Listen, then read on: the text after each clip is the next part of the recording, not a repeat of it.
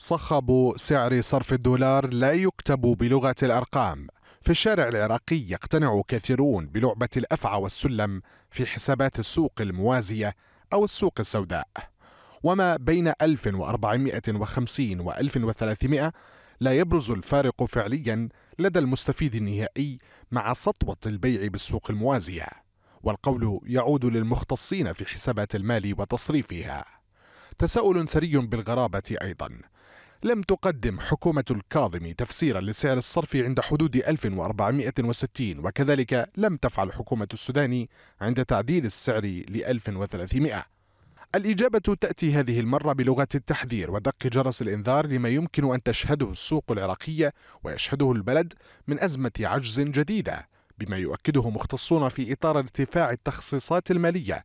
استنادا للبرنامج الحكومي وحول إمكانيتها من سد العجز بين بيع وزارة المالية الدولار للبنك المركزي بسعر 1460 وبين بيعه الآن بسعر 1300 يترافق هذا مع زيادة تمويل رواتب الموظفين. أما عن أسباب قرار تعديل سعر الصرف فيذهب مسؤولون في الحكومة العراقية لما أسموها بالأنماط النقدية المتشددة لمحاربة التضخم التي ولدتها الأسواق غير مكتملة الشروط وهي بالطبع الأسواق الموازية للصرف.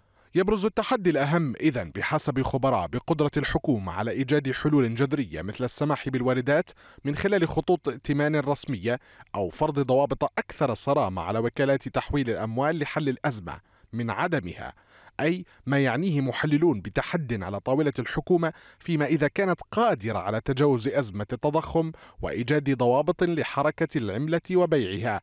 إلى جانب النقطة الأكثر أهمية والمتمثلة بإيجاد منافذ أخرى لخزينة الدولة غير تلك المعتمدة فقط على الإنتاج النفطي للوصول لرفع حقيقي لقيمة الدينار العراقي الغائبة منذ زمن والتي غاب معها انتعاش الاقتصاد العراقي.